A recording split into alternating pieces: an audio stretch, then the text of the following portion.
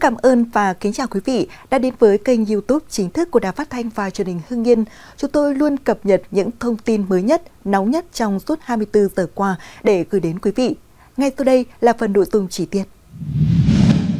Trước thông tin nghi phạm sát hại cô gái trong phòng trọ ở Hà Nội là Hoàng Minh Hào sinh năm 2004, quê ở tổ dân phố Đồng 2, thị trấn Kép, huyện Lạng Giang, Bắc Giang, người dân tổ dân phố Đồng 2 ở thị trấn Kép vô cùng bàng hoàng vì nghi phạm ở địa phương được đánh giá là lễ phép không tụ tập chơi bời. Hào là nghi phạm sát hại chị Lê Thị Thùy Linh, quê Thanh Hóa, trú tại quận Nam Từ Liêm, Hà Nội. Về manh mối phá án, lãnh đạo công an thành phố Hà Nội cho biết Hào bị công an quận Thanh Xuân bắt giữ liên quan hành vi trộm cắp tài sản. Sau đó, bằng biện pháp nghiệp vụ, các điều tra viên đấu tranh buộc Hào phải khai ra hành vi giết người cướp tài sản thực hiện trước đó. Nạn nhân trong vụ án là cô gái 21 tuổi Lê Thị Thị Linh. Theo một số người dân nơi đây, gia đình Hoàng Minh Hào có hai anh em, Hào là em, bố mẹ bị can là người hiền lành chăm chỉ làm ăn, nuôi các con học hành. Hiện bố của Hào làm thợ xây, còn mẹ làm công nhân may. Bà Lê Tê Tê, tổ dân phố Đồng 2 ở thị trấn Kép, huyện Lạng Giang, tỉnh Bắc Giang là người thân của Hào bàng hoàng khi nghe tin dữ về sự việc. Bởi ở nhà, Hào được đánh giá là nghe lời bố mẹ anh chị trong xóm làng, bố mẹ thì chịu thương chịu khó làm ăn tại địa phương. Trước đó tôi có đọc được thông tin trên báo đài về sự việc đau lòng của một nữ sinh bị sát hại, nhưng tôi không ngờ gây ra sự việc lại là người cháu trong gia đình mình. Rất chua xót, bà Tê nói. Bà nội Hào cũng đau xót, tôi rất bàng hoàng khi nghe tin dữ, không ai nói với tôi cả nên tôi không biết, tôi không biết sống sao, đau lòng quá. Ông Vũ Xuân Mạnh, bí thư chi bộ tổ dân phố Đồng Hai cho biết gia đình Hào chịu thương chịu khó. Bố Hào làm thợ xây ở thị trấn. Ai có việc cần xây dựng gọi là có mặt. Mẹ Hào làm thợ may tại khu công nghiệp nằm trên địa bàn tỉnh Bắc Giang. Còn anh trai đang theo học tại Hà Nội và đang thực tập để chuẩn bị ra trường. Nhận được tin trên, ai trong tổ dân phố Đồng 2 đều bàng hoàng vì ở nhà Hào rất lễ phép không tụ tập chơi bời bao giờ, theo ông Mạnh. Hiện tại, gia đình đã đưa thi thể cô gái xấu số về quê nhà để làm tang lễ. Ông Trần Văn Anh, Chủ tịch Ủy ban Nhân dân xã Luận Thành, huyện Thường Xuân, Thanh Hóa cho biết gia đình nạn nhân có hoàn cảnh khó khăn. Mẹ cô gái mất cách đây gần 4 năm, người bố thường hay đau ốm, không đủ sức gánh vác cả gia đình, nên nhiều năm nay Linh lên Hà Nội đi làm để giúp bố nuôi hai em ăn học. Gia đình cháu đã đưa thi thể về làm thủ tục hỏa táng, ông Anh nói và cho biết chính quyền sở tại đã tới động viên thăm hỏi gia đình nạn nhân. Bà Oanh, cô ruột Lê Thị Thùy Linh kể, cháu gái làm quản lý phòng trò cho thuê, sau khi mẹ mất, Linh xin nghỉ việc ra Hà Nội đi làm. Cô gái quyết định chưa có bạn trai chỉ tập trung vào làm quản lý nhà trọ. Công việc mang lại cho cô thu nhập cùng mong ước xây được căn nhà mới cho bố và hai em. Vậy mà nhà chưa xây được, gia đình cháu cũng mới vui vầy ăn Tết được mấy ngày thì xảy ra chuyện bà Oanh đau xót. Liên quan tới vụ cô gái 21 tuổi bị sát hại được phát hiện trong chung cư mini trên địa bàn quận Cầu Giấy, Công an thành phố Hà Nội đã khởi tố bị can đối với HMH, 20 tuổi, quê tỉnh Bắc Giang về tội giết người và cướp tài sản. Ngoài ra, cơ quan chức năng còn đang điều tra H về hành vi hiếp dâm. Chia sẻ về manh mối phá vụ án trên, một lãnh đạo công an thành phố Hà Nội cho biết H bị công an quận Thanh Xuân bắt giữ liên quan đến hành vi trộm cắp tài sản. Trong quá trình đấu tranh, cơ quan chức năng tiếp tục làm rõ hành vi giết người, cướp tài sản của H. Trong vụ chị Lê Thị Thùy Linh, 21 tuổi, ở quận Nam Từ Liêm, Hà Nội, quê gốc tỉnh Thanh Hóa. Theo chia sẻ của chị LA, 22 tuổi, bạn cùng phòng trọ với Linh, thì mùng 6 Tết, LA và Linh cùng bắt xe lên Hà Nội. Đến ngày hôm sau, Linh rời khỏi chỗ ở, cả đêm không thấy về. Lúc đầu chị LA chỉ nghĩ bạn mình đi đâu đó có việc nên không tiện liên lạc. Tuy vậy, Tới ngày hôm sau vẫn không thấy Linh đâu, nên chị LA linh cảm có chuyện chẳng lành, liền gọi hàng chục cuộc điện thoại cho Linh nhưng không thấy hồi âm. Khoảng 15 giờ chiều hôm nay 19 tháng 2, trong lúc làm việc, tôi nhận được một cuộc điện thoại thông báo tin dữ. Khi tới hiện trường, tôi nhận ra thi thể cô gái trong khu trọ là Linh. Chị LA nghẹn ngào cho biết. Được biết, nhà Linh có hoàn cảnh khó khăn, mẹ Linh mất cách đây 4 năm. Cô cùng bố gồng gánh kinh tế để nuôi hai em, một người học cấp 1, một người mới lên lớp 11. Do hoàn cảnh khó khăn nên Linh chỉ tập trung vào công việc, vì vậy bạn vẫn chưa có ý định yêu đương. Linh luôn tâm sự với tôi, ước mong lớn nhất của bạn trong năm nay cho đến 1-2 năm tới là có thể xây được căn nhà mới, mua được chiếc ô tô cho gia đình, có thật nhiều tiền để nuôi hai em ăn học. Vậy mà ước mơ chưa kịp thực hiện. Chị LA cho biết. Về đối tượng nghi phạm, một cán bộ địa phương ở Bắc Giang cho biết, hát xuất thân trong một gia đình làm nông nghiệp. sau khi học hết cấp 3, đối tượng ra ngoài thành phố Hà Nội làm ăn, ít khi có mặt tại địa phương. Trước khi xảy ra vụ việc trên, bản thân H chưa có tiền án tiền sự gì. Tại cơ quan công an, bước đầu đối tượng đã khai nhận hành vi phạm tội của mình. Các đơn vị nghiệp vụ của công an thành phố Hà Nội đang tập trung đấu tranh làm rõ nguyên nhân, động cơ, mục đích gây án, làm rõ hành vi phạm tội của đối tượng để xử lý nghiêm theo quy định của pháp luật. Liên quan vụ cô gái 21 tuổi quê Thanh Hóa trú tại phường Mỹ Đình 1, quận Nam Từ Liêm, Hà Nội mất tích từ mùng 7 Tết và được phát hiện tử vong tối 19 tháng 2, Công an thành phố Hà Nội đã bắt giữ đối tượng nghi vấn sát hại chị Linh là HMH 20 tuổi, quê quán Bắc Giang. Có mặt tại khu vực phát hiện thi thể của nạn nhân, theo quan sát đây là một căn chung cư mini tại ngõ 79 Cầu Giấy, phường Yên Hòa, quận Cầu Giấy, Hà Nội. Ngôi nhà 7 tầng chừng 100 m2 mới được xây dựng và đưa vào sử dụng làm căn hộ cho thuê, gọi là chung cư mini. Thân con gái là ít tuổi đứng ra quản lý cho thuê nhà nên có thể thủ phạm thấy vậy ra tay nhằm mục đích cướp tài sản, một người dân cho hay. Phía trong tầng 1 chỉ còn vài chiếc xe máy của khách thuê, một người thuê trọ tại đây cho hay từ tối qua nhiều người thuê phòng đã chuyển đi, chỉ còn lại vài người cố nắng lại, chắc cũng sớm chuyển đi. Trong ngày hôm nay tôi sẽ chuyển đi thuê chỗ khác, người này nói. Theo hàng xóm cạnh căn nhà xảy ra vụ án mạng thương tâm, trong đêm hôm qua những người ở trọ cùng một số người dân xung quanh do sợ hãi đã xách túi rời đi. Hầu như trong căn nhà không còn người, có một số người hôm qua mới lên. Khi đến bàng hoàng nhận được thông tin liền quay xe. Vẫn chưa hết bàng hoàng hoang mang, ông Trần Viết Hổ, 61 tuổi, sống gần căn chung cư mini cho biết Khoảng 4 giờ chiều hôm qua, khi thấy lực lượng công an có mặt tại hiện trường, ông cùng mọi người mới biết là có án mạng. Lúc đấy có cả lực lượng công an quận Cầu Giấy, công an phường Yên Hòa tập trung để khám nghiệm hiện trường. Rất nhiều người dân hiếu kỳ đứng để bàn tán theo dõi vụ việc đến tận nửa đêm mới xong. Ông Hổ nhớ lại. Ông Hổ cho biết thêm sau khi phát hiện thi thể của cô gái trẻ xấu số, tối qua, nhiều bạn trẻ thuê phòng tại chung cư mini này đã dọn hết đồ đạc và chuyển đi chỗ khác. Chị Nguyễn Thị Thu Hằng sống đối diện căn chung cư mini cho biết, nạn nhân là quản lý của căn chung cư này có nhiều vụ dẫn khách đến xem để thuê nhà và hàng tháng đến thu tiền nhà. Hôm mùng 7 Tết, nạn nhân có dẫn một thanh niên đến để xem phòng nhưng sau đó không thấy nạn nhân ra nữa. Khi lực lượng chức năng đến kiểm tra thì phát hiện thi thể nạn nhân ở một căn phòng tầng 3 của căn nhà, xe máy của nạn nhân vẫn dựng dưới tầng 1. Chị Lê Thị Hương, 37 tuổi, mợ của cô gái trẻ xấu số, chia sẻ. Từ trước đến nay, cháu Linh là người ngoan hiền, chăm chỉ, không ăn chơi đua đòi. Cháu Linh làm quản lý chung cư, phòng trọ cho thuê trên địa bàn thành phố Hà Nội khoảng 3-4 năm nay. Gia đình cháu Linh làm nông nghiệp, mẹ mất sớm nên đến năm lớp 11, cháu cũng xin nghỉ học, ra Hà Nội làm công việc này. Từ đó đến nay, chị Hương nói. Liên quan đến vụ tai nạn trên cao tốc Cam Lộ La Sơn, ông Trần Hữu Minh, tránh văn phòng Ủy ban An toàn Giao thông Quốc gia cho biết, khi tai nạn giao thông xảy ra, các cơ quan chức năng sẽ xem xét các nguyên nhân trực tiếp và xử lý trách nhiệm của các cá nhân tổ chức có liên quan.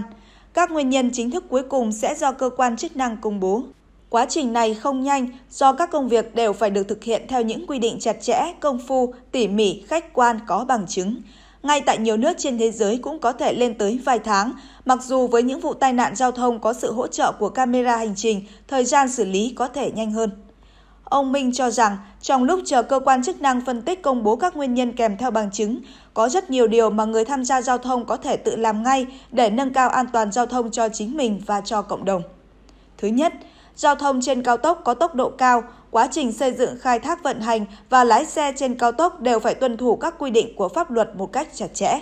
Đặc biệt, cần chủ động thu thập thông tin và lên kế hoạch cho chuyến đi, xác định trước chỗ nào dừng, điểm nào là nút giao ra khỏi cao tốc. Với những lái mới, tuyến đường đi mới càng phải hết sức thận trọng. Thứ hai, luôn chủ động trao rèn và thực hành đúng các quy tắc giao thông vì tất cả các quy tắc giao thông đặt ra đều có lý do và nhằm mục đích bảo đảm an toàn của người lái và xã hội.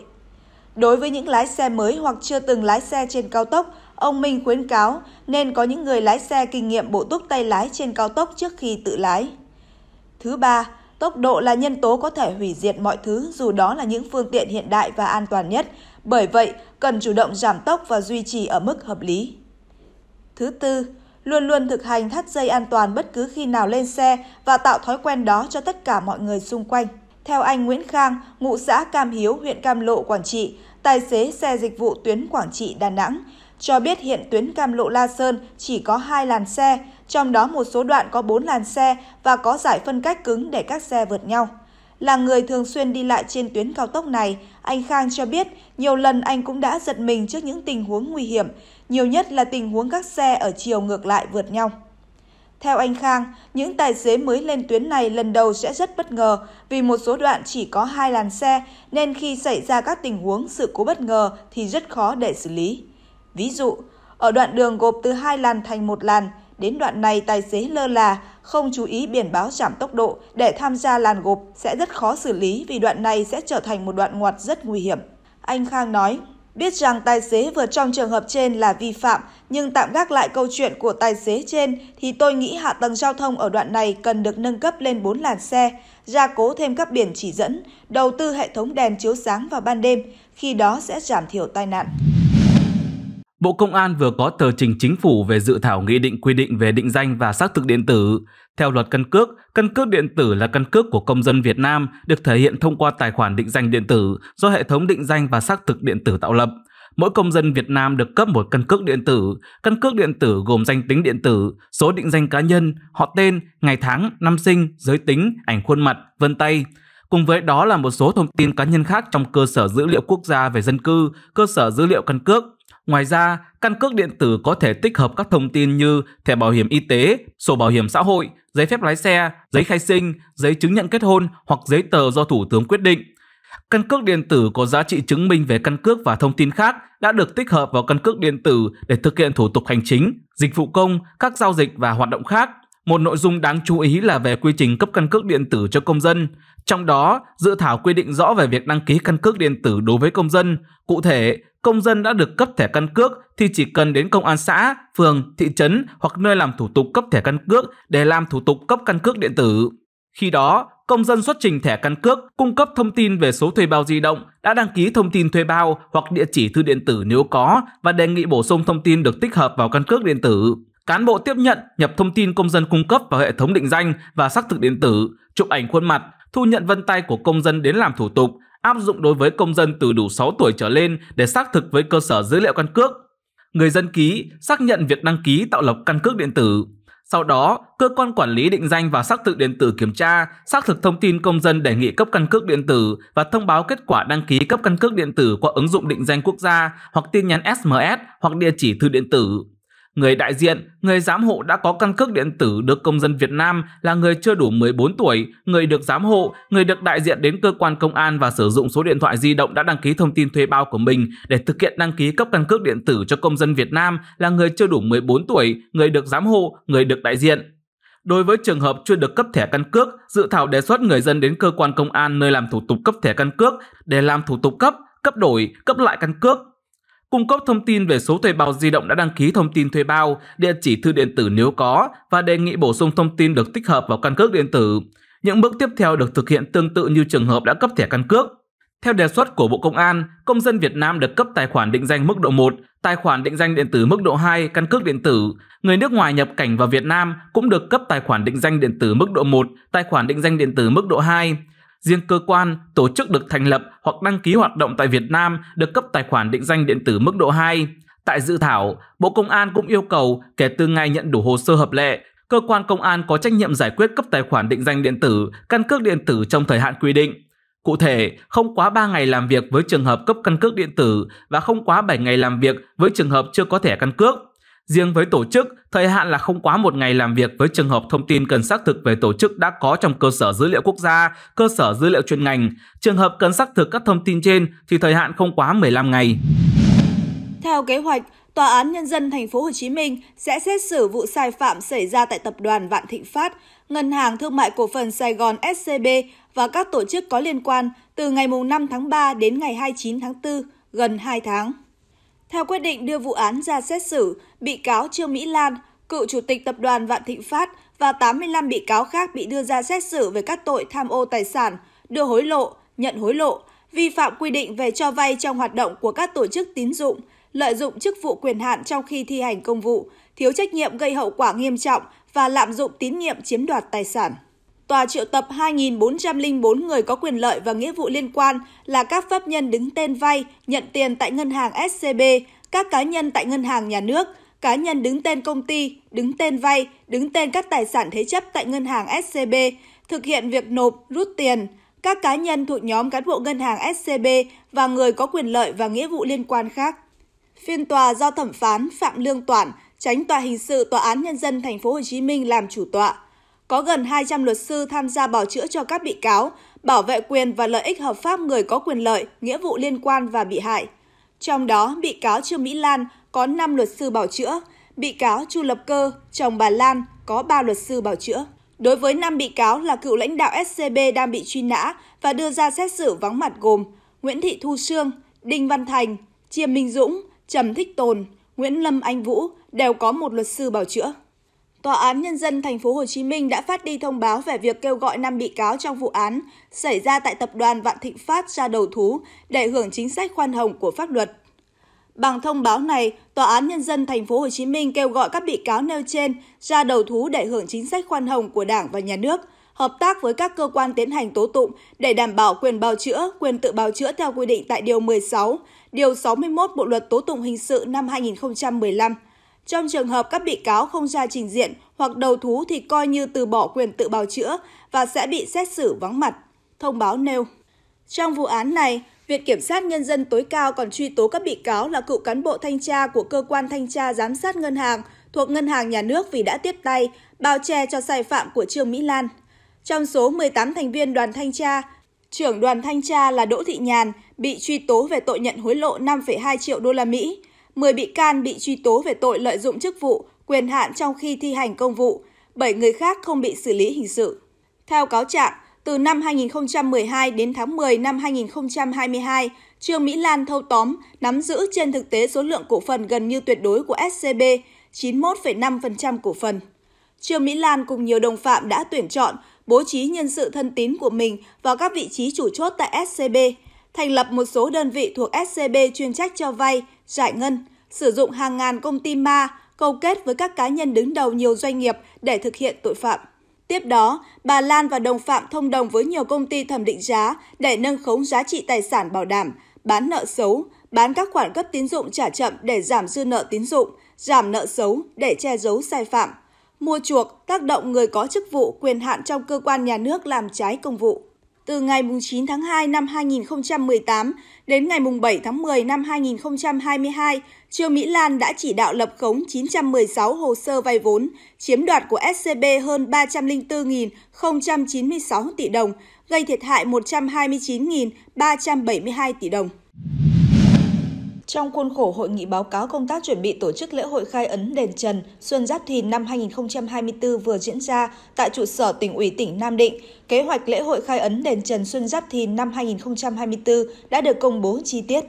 Trong đêm khai lễ sẽ diễn ra các nghi lễ như cầu quốc thái dân an, mọi người chung hưởng lộc ấn đền Trần, tích phúc vô cương, mọi người bước vào năm mới mạnh khỏe, lao động hăng say, học tập công tác tốt. Theo đó, ngày 20 tháng 2, tức ngày 11 tháng Giêng, tổ chức lễ rước kiệu Ngọc Lộ. Ngày 21 tháng 2, tức ngày 12 tháng Giêng, tổ chức lễ rước nước, tế cá. Ngày 23 tháng 2, tức ngày 14 tháng Giêng, trong khoảng từ 22 giờ 15 phút đến 22 giờ 40 phút thực hiện nghi lễ dâng hương. Trong khoảng từ 22 giờ 40 phút đến 23 giờ 10 phút tổ chức nghi lễ rước kiệu ấn. Trong khoảng từ 23 giờ 15 phút thực hiện nghi lễ khai ấn. Ngày 24 tháng 2, tức ngày 15 tháng Giêng, từ 2 giờ 00 phút thực hiện nghi lễ hồi kiệu ấn. Từ 5 giờ 00 phút tổ chức phát ấn cho người dân và du khách ở 4 địa điểm gồm nhà giải vũ tại Cung Thiên Trường, đền Cố Trạch và nhà trưng bày tại Cung Trùng Hoa.